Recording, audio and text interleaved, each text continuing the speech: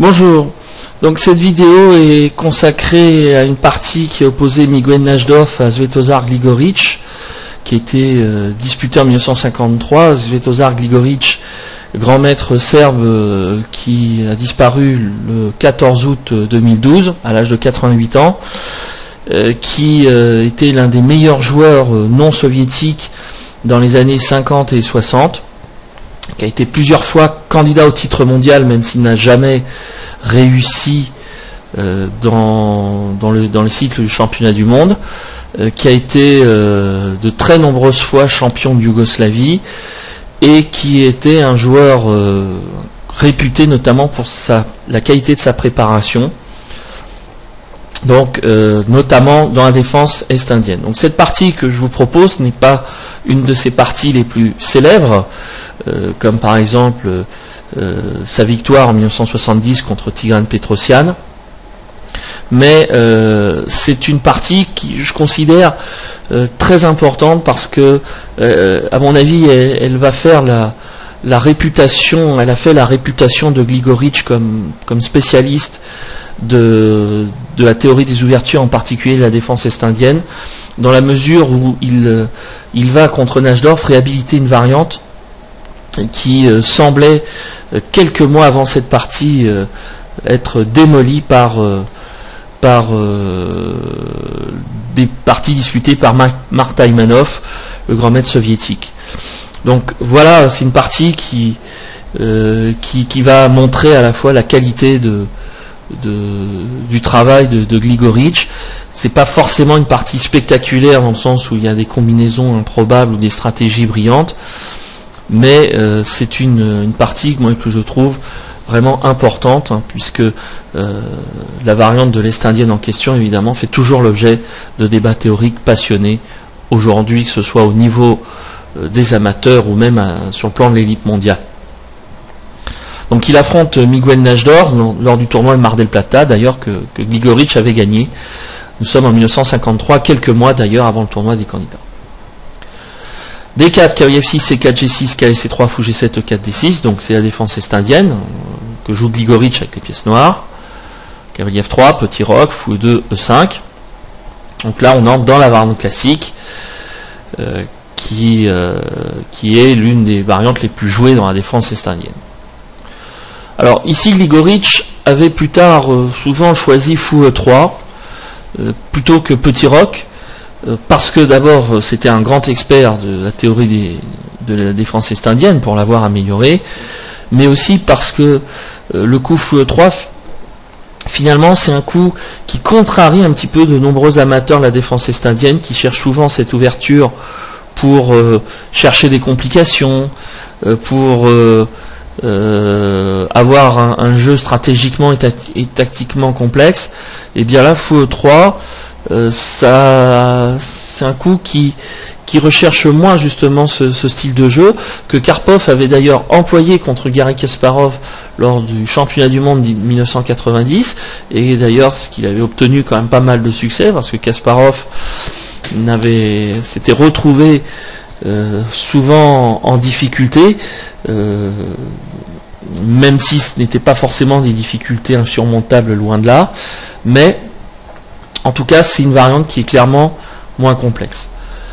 Là, euh, dans la partie, évidemment, Najdorf joue le coup principal, petit roc, cavalier C6, c'est le coup le plus ambitieux. Évidemment, on peut jouer cavalier D7 ou C6 par exemple.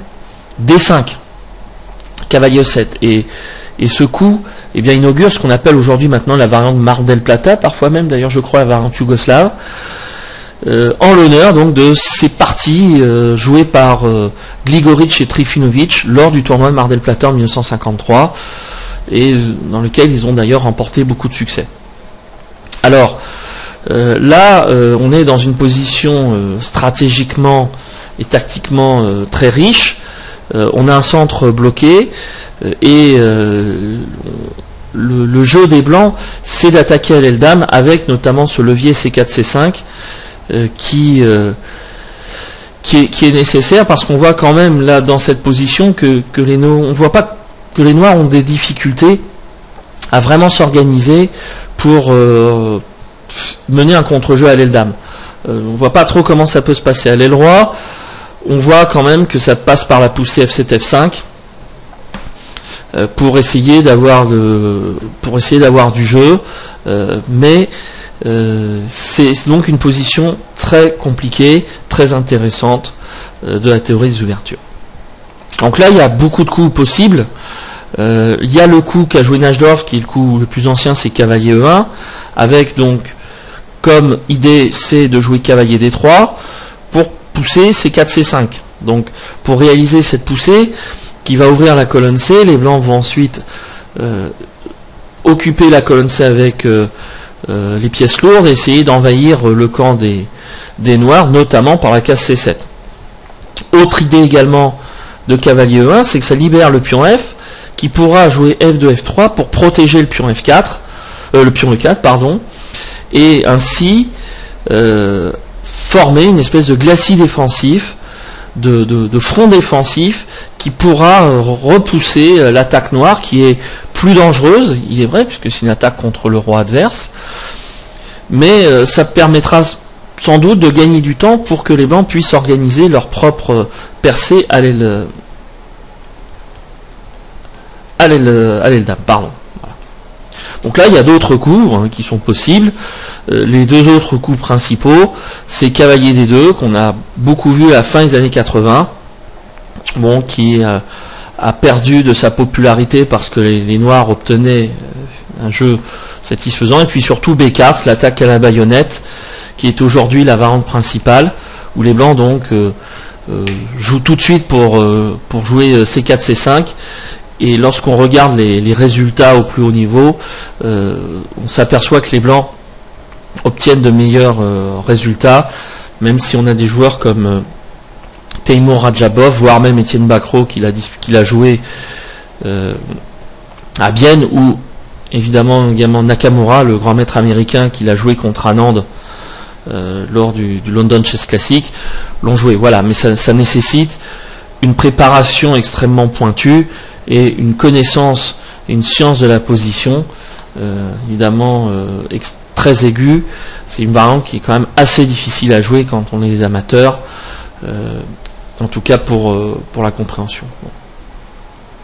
Donc on va revenir à la partie cavalier E1, donc cavalier D7 pour libérer F5, cavalier D3.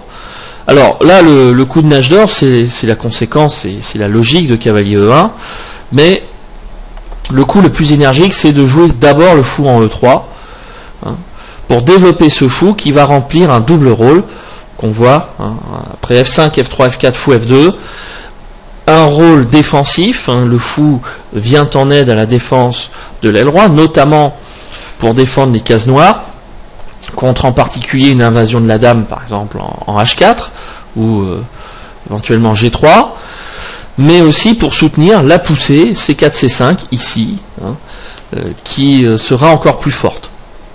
Donc là, d'ailleurs, c'est ce qui s'est passé dans une partie euh, jouée par Gligorich à, Mar del Plata. il avait continué contre le, grand maître Elis par G5, cavalier D3. Ça avait été d'ailleurs la position joué dans une partie disputée lors du championnat du, RSS 1952 que j'évoquais tout à l'heure entre euh, Mark Taimanov et David Bronstein. Et Bronstein avait choisi tour F6 et tour H6, mais il n'avait pas réussi à percer, notamment parce qu'il n'avait pas réussi à avoir le soutien de ses pions. Et du coup, donc, euh, sa tour s'était retrouvée hors jeu et Taimanov avait pu percer à l'aile dame. Il avait fini par mener une manœuvre d'encerclement. Euh, qui avait abouti à une victoire. Et donc dans cette partie, euh, dans la partie entre euh, Elis Kazes et Gligorich, eh bien Gligorich avait choisi cavalier F6 pour soutenir directement l'attaque. On va voir, retenez bien cette position, on va voir pourquoi d'ailleurs cavalier F6 est joué. Après cavalier D3, c'est un coup qui n'est pas mauvais en lui-même, mais c'est vrai que euh, par la suite de la partie, euh, le fou en, C1 va se retrouver dans un rôle un peu moins important et, on peut se demander d'ailleurs si c'est pas ce rôle qui va euh, expliquer quand même d'une certaine manière la défaite des blancs. Donc F5, F3, F4, vous voyez que le, fou en C1 ne peut pas revenir défendre en F2, sauf s'il va en D2, en E1 et en F2. Fou D2. Et là, donc, Grigorich joue cavalier F6. Un coup qui est intéressant, qui est dans sa logique, qui, reprend la logique de la variante qu'on a vue tout à l'heure, mais que Grigorich considère comme imprécis, en estimant qu'il fallait jouer G5 d'abord, B4, cavalier F6. Alors pourquoi euh, cavalier F6 tout de suite n'est pas bon? Eh bien parce que les blancs auraient pu jouer tout de suite C4, C5, donc percer euh, à l'aile euh, à l'aile dame, alors que les blancs, euh, les noirs, pardon, eux, eh bien, auraient euh, eu un coup de moins, un temps de moins finalement, après G5. Hein, voilà.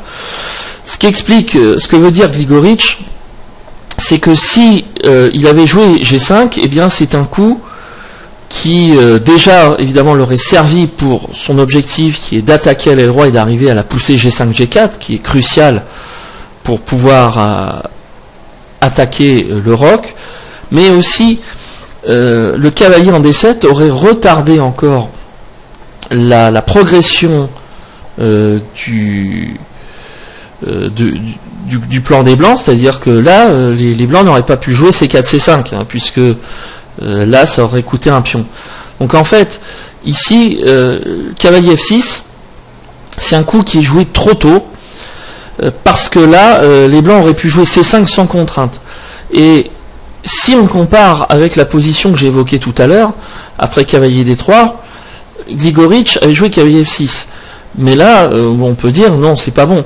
Bah, sauf que là, de toute façon, les blancs ne peuvent vont pousser C5, qu'il y ait le cavalier D7 ou pas. La seule façon d'empêcher, c'est de jouer B6. Mais après B6, il y a B4.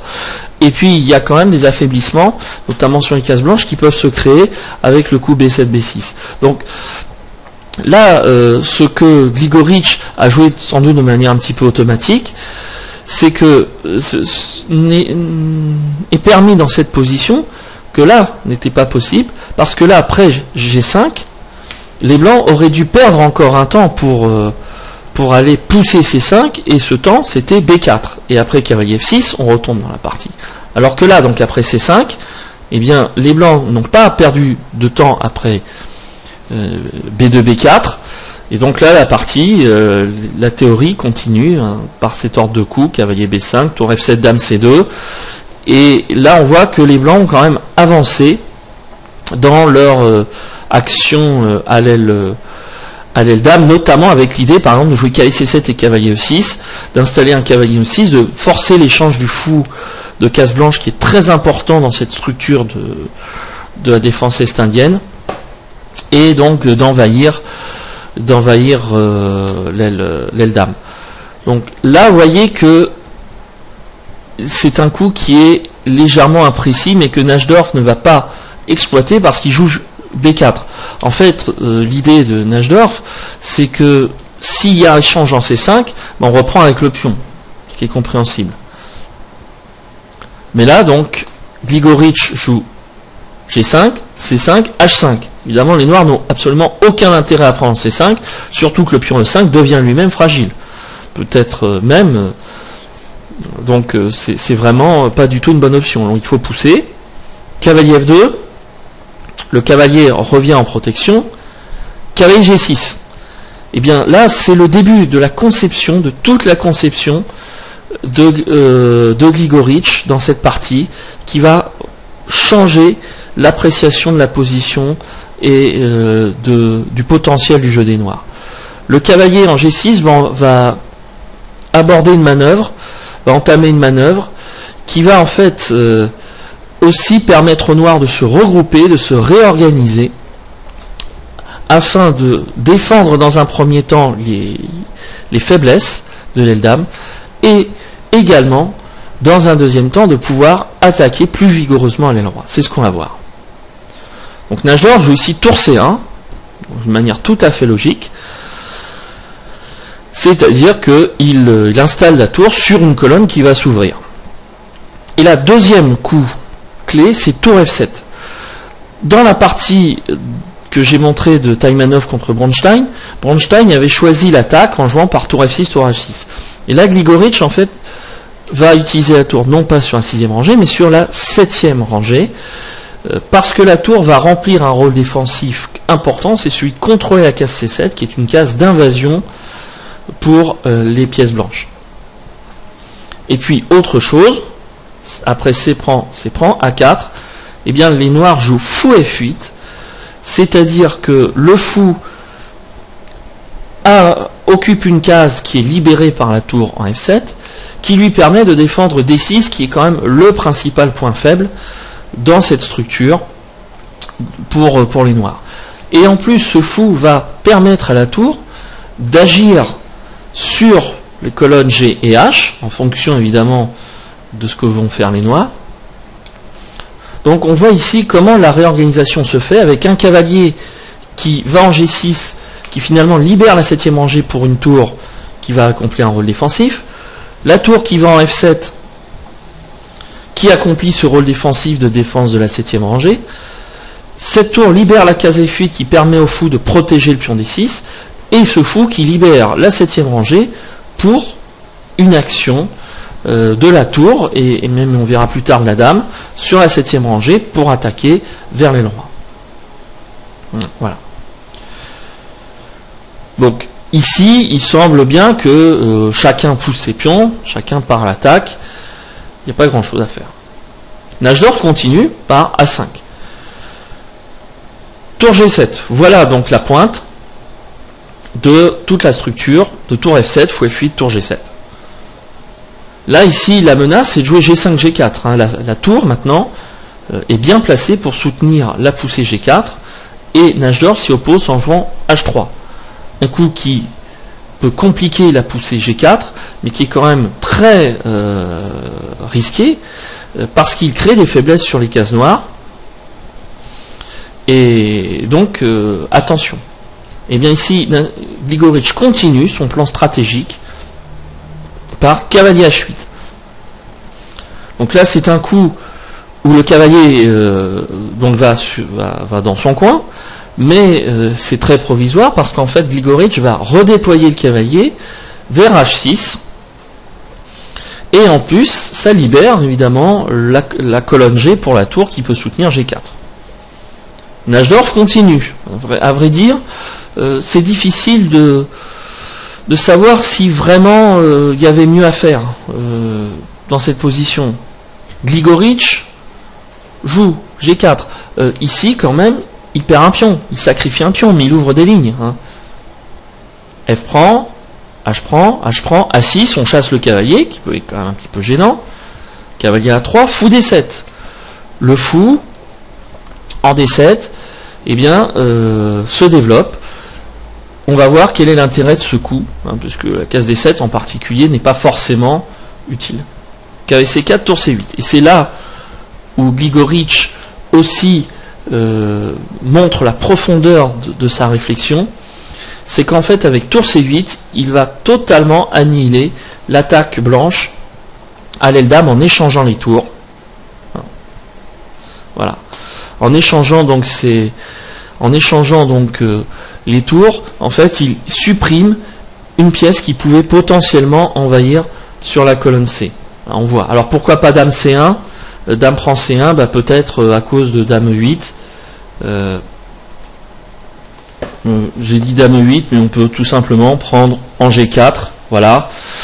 Et évidemment, là, les choses vont quand même assez mal dans cette position, un fou prend, fou prend, voilà, donc, euh, donc fou prend C1. Mais ici, le plan des blancs qui est d'envahir le, camp blanc par la colonne C, quand même, tombe totalement à l'eau. Euh, les, blancs ne sont pas en mesure de le faire, alors que les noirs, eux, ont quand même ouvert des lignes à, à l'aile roi. Alors ici, Grigori joue fou E8. C'est un coup euh, très important parce que le fou de case blanche euh, va attaquer de nouvelles cibles, notamment le pion E4. Et puis euh, le fou de case blanche, c'est toujours une pièce clé dans la défense est-indienne dans ces structures fermées. hein, par rapport au fou de case noire qui lui est bloqué, hein, puisque justement il n'est pas bloqué par les pions et qu'il peut viser les faiblesses sur case blanche. Donc ici, euh, les blancs jouent fou, A, fou A3, cavalier F7, dame C2, cavalier H6, attaque, euh, attaque euh, le pion G4. Là, euh, si Najdorf avait joué dame D1, eh bien là, les noirs auraient pu avoir plusieurs possibilités. Peut-être dame C7, peut-être aussi fou B5, fou B5 euh, avec l'idée tout simplement d'échanger. Hein, là, vous voyez que pion G4 est perdu. Euh, et là, les choses vont très mal se passer parce que euh, là, les, pièces noires s'accumulent à contrôler le roi alors que les blancs ne peuvent absolument pas attaquer de l'autre côté. Vous voyez les deux cavaliers, la tour, la dame qui peut intervenir par H4. Ça, risque de mal se passer. Donc, les choses vont pas bien. Donc Najdorf ne peut pas garder le pion, donc il décide de le rendre par G5. Tour prend G5, tour C1. L'idée de G5, c'est de détourner la tour de la septième rangée pour pouvoir essayer d'envahir en, C7. Euh, à noter que si les blancs avaient joué Dame C8, eh bien euh, là on aurait pu jouer Fou prend, euh, Dame prend, Dame prend, il prend tour G3, Fou C1, et puis euh, cavalier F7 avec l'idée d'attaquer en G5, avec un cavalier qui peut aller en G5, voilà, viser éventuellement le pion euh, G2 par la poussée F4, F3, et puis pourquoi pas aussi d'ailleurs le pion E4. Donc là, les, pions noirs seraient faibles, et vous voyez d'ailleurs le, rôle du fou F8 qui protège le pion D6. Jamais les blancs ne peuvent euh, attaquer ces faiblesses. Donc on revient à tour C1. Tour G3, un coup important. Ça gagne un temps et ça permet d'ailleurs à la tour de se placer devant le cavalier qui va arriver en G4. Et donc ça ne ferme pas euh, la colonne G à la tour. Fou B2, cavalier F6 G4 avec la menace dame H4. Donc là les, les blancs décident de limiter. Peut-être effectivement dame C8 était meilleur, mais enfin bon c'est un coup d'ordinateur il n'y a pas forcément grand chose à faire. Donc là, la position, on peut le dire, est stratégiquement gagnée pour les noirs. Hein, pourquoi? Bah, Parce que euh, les noirs ont euh, d'abord une forte initiative contre le roi blanc, avec déjà comme menace quand même de jouer F4, F3. Ensuite, parce qu'il y a quantité de pions faibles, on parlait du pion G2, mais le pion E4. Et les blancs n'ont absolument aucun moyen de contre-attaquer, ils n'ont pas le temps de le faire, hein. ils ne peuvent pas aller, euh, s'ils vont en C8, euh, par exemple, euh, bah, s'ils vont en C8, bah, on peut jouer tout simplement Dame G5, hein, voilà, et, et même si on prend en E8, allez, on peut sans doute prendre en G2, ou peut-être pas en G2, mais peut-être F3, euh, et on continue avec tour prend G2 échec. Et euh, on va aller euh, mater on va aller mater tout ça. Donc dame 6 roi h8 vous voyez là c'est on voit pas trop comment les blancs peuvent parer par exemple dame 3 échec ou tour prend G2 échec et suivi d'une attaque de mat donc voilà. Donc dame F2 Fou G6, attaque le pion E4, donc là Grigorich passe d'une menace à l'autre. Tour C4, alors pourquoi pas tour E1 euh, bah, Sans doute pour euh, peut-être pour éviter euh, pour éviter Dame C7. Hein. Voilà, c'est que les, noirs puissent envahir par la colonne C, on ne sait jamais, donc voilà l'explication. Tour C4, mais voilà. Donc dame 7 fou c3, dame h7. Donc là, avec les menaces de jouer tour h4, tour h1. Une menace qui est évidemment absolument terrible. Donc Najdorf tente d'éviter la menace, dame 2, tour H4, roi F2 et F3, le coup qui fait sauter les dernières défenses autour du roi. Euh, les blancs ne peuvent pas capturer le pion, hein, parce que sur roi prend F3, il y a fou H5 échec, dame prend F3, il y a tour F4, G prend F3, il y a tour H2 échec. Voilà, bon. Dame E3, tour F4. Là, la, position est, complètement perdue. Hein. Vous voyez d'ailleurs que euh, si, on, comparait par exemple avec le, début euh, de la variante, les pions, l'attaque blanche n'a pas avancé, alors que les noirs, eux, ont réussi à, monter leur attaque contre le roi. Voilà. J'ai prends, dame H2, roi E1, dame H1, roi E2, fou H5, le pion F3 tombe, donc le roi tente de s'enfuir, puisqu'on ne peut plus le défendre, tour prend F3, dame G5 échec, fou G7, roi C2, tour F2, roi fou D2, dame D1 échec, roi C3 et dame A1 échec. Le mat est une question de coups, hein, c'est 6 coups, a priori il y a un mat en 6, et donc Nage d'Or décide d'abandonner. Voilà donc pour cette partie, euh, une partie euh, euh, qui montre la grande maîtrise de Gligorich, notamment donc sur la capacité à améliorer donc une variante et évidemment de nombreuses parties se sont inspirées de, ce schéma et d'ailleurs même dans une des vidéos que j'avais réalisé, euh, Nashdorf avait repris euh, la construction de Gligorich contre Mark Taimanov lors du tournoi des candidats de 1953. Et cette reprise lui avait permis de remporter un prix de beauté, hein, de remporter une superbe partie. Voilà, donc j'espère que vous avez apprécié cette vidéo et j'espère vous retrouver prochainement. Merci.